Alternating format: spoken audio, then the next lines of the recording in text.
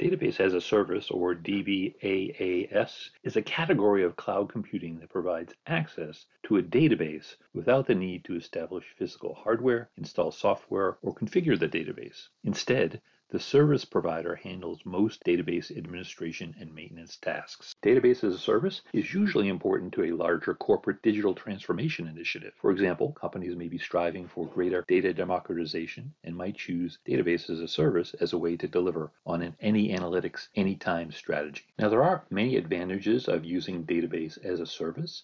Number one is removing the need to have your organization maintain servers and all the associated real estate that goes with those servers. You can reduce hardware and software upgrade costs. It is easier with database as a service. And you can streamline database management.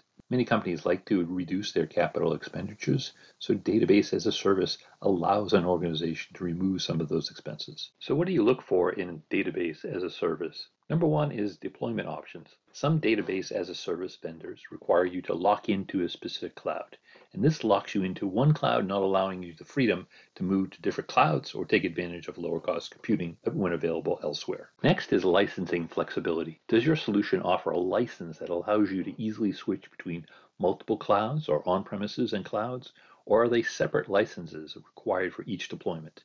What is the cost to maintain dev and test and backup in production?